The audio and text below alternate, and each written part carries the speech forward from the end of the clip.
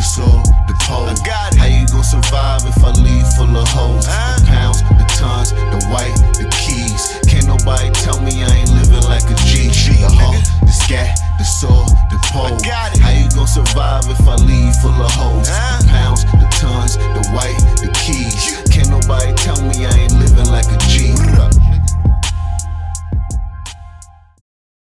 Peace, peace, y'all. What's shaking with it, man? You already know how it's going down. You know what it is, and you know who it is, man. It's your boy Hood and all that. You are now locked in with me on another episode of Hip Hop or Hood, where we discuss everything hip hop. Right, listen, I'm still a little under the weather. I'm not 100 percent yet, but I'm still reporting to you guys, and I'm trying my best to, uh, you know, to keep you guys updated with everything that's going on right now. All right. That being said, let's get into it. Um, Meek Mills dropped his Flamers 5 tape, and right now it has the internet kind of going crazy. It's buzzing. Um, everyone's talking about it on all social media platforms from Twitter to Instagram uh, to Facebook.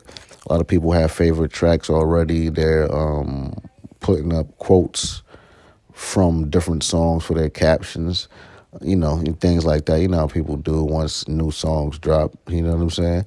Um, what I want to know from you guys, well, from the people who've heard it, what are your favorite tracks off of this tape? And overall, on a scale from 1 to 10, what would you give this tape? And do you think this is more so the sound that all of the old Meek fans was looking for from him?